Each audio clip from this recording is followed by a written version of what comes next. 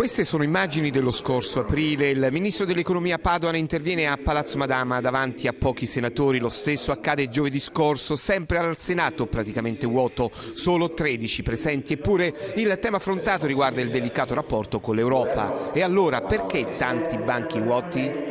Diciamo che in questo periodo alcuni partiti sono più concentrati, sembra, a fare campagna elettorale, a riposizionarsi all'interno dei loro partiti. Poi è vero che eh, in questo periodo il Parlamento, come spesso è successo in questi anni, non lavora di proposta di legge e lavora pochissimi giorni a settimana sulla decretazione d'urgenza del governo. Si potrebbero usare questi giorni tipo il lunedì, ma anche il giovedì che ormai l'Aula è chiusa per lavorare sulle proposte di legge invece del Parlamento, perché ricordiamoci che per Costituzione ancora le leggi le dovrebbe fare il Parlamento. Immagini quelle dell'aula vuota che tuttavia rischiano di alimentare l'antipolitica. Beh, intanto i parlamentari non sono Diciamo, non, non, lavorano in una catena di montaggio, un eletto deve rappresentare il popolo e lo può rappresentare in molte maniere. Poi se dobbiamo fare la misura del lavoro parlamentare un tanto al chilo, eh, insomma questo è un altro criterio, sarebbe opportuno immaginare la qualità del lavoro parlamentare e capire se un deputato magari grafomane che scrive